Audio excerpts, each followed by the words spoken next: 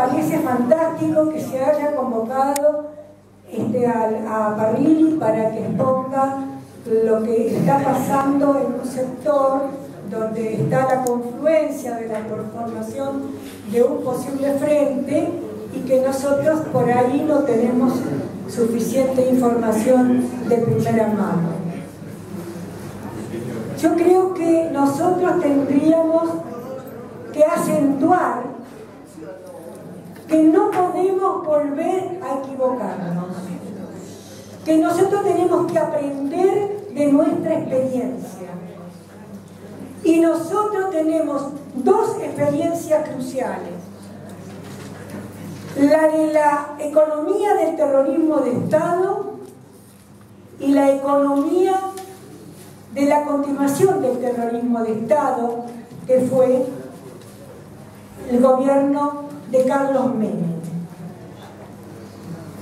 Cuando en el año 1979 se sacó una solicitada donde las firmas de los patriotas de, la, oligarquía vacuna diciéndole al, al gobierno militar en 1979 nosotros los hemos acompañado y hemos apostado, pero con los militares o sin ellos, o sin ellos, vamos a lograr los aspectos que faltan cumplir, los objetivos que faltan cumplir, que eran dos, achicamiento del Estado y privatización de las empresas públicas. El huevo de la serpiente del proceso con Carlos Menem. Se hizo exactamente eso.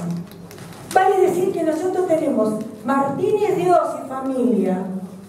Después volvió Caballo, que estaba anteriormente con eso. Y volvimos otra vez a que los gobiernos postran nuestra economía, nuestro país, al pie de los acreedores extranjeros. Dos veces nos ha pasado. Si nosotros pudiéramos mínimamente recoger la experiencia que hemos vivido, tendríamos que tener claramente que decir en este momento basta. Porque esto es una cadena de, de, de medidas de gobierno por decreto el gobierno gobierna por decreto, por lo tanto es un gobierno fraudulento. ¿Qué es la estafa? La estafa es crear una misión escena para enganchar a los incautos. ¿Qué es lo que nos hacen estos gobernantes? Una misión escena organizado por los medios de comunicación y gobernantes que nos estafan que cuando tienen que explicar qué están haciendo nos cantan un cantito, nos recitan un recitado y no nos explican absolutamente nada, porque hay que tener en claro, desde el gobierno hay un profundo desprecio por el pueblo, hay un profundo desprecio por, sus, por sus logros y sus conquistas. Hay que destruirlo todo para ellos, pero ni siquiera nos enteramos de cómo y cuándo van a hacer esta destrucción. El hombre es un histórico que puede recoger de sus errores las convenientes y circunstanciales formas de poder reentender el pasado, porque el pasado es un momento del presente y es la forma que nos permite mirar el futuro. Nosotros tenemos que este gobierno ha estafado al pueblo, este es un gobierno ilegítimo. No tenemos que tener ningún problema en decir que se vayan. Entonces, tenemos que, acá se ha pisoteado, se intenta pisotear nuestra dignidad. La Declaración Universal de los Derechos del Hombre está hecha, dice su preámbulo, para el reconocimiento dignidad intrínseca del ser humano. Sea buen, chico, grande, negro, blanco, hay una dignidad intrínseca.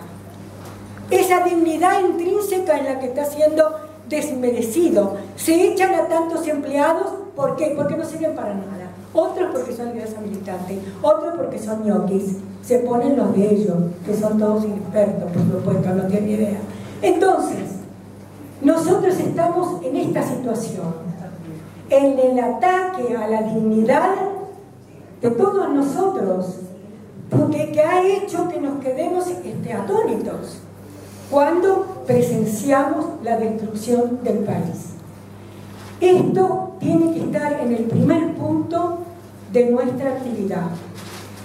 Poder reunir la energía que nos permita decir basta porque están destruyendo el país, están destruyendo a las personas porque para destruirlas utilizan la miseria, y la miseria también viola los derechos humanos, los derechos económicos que tenemos como ciudadanos. Porque una cosa era la dictadura que mortificaba los cuerpos con la tortura. Estos mortifican los cuerpos con el hambre y el cuerpo de los niños con la falta de la proteína para su inteligencia y con el cuerpo de nuestros adolescentes acribillándolos por la espalda.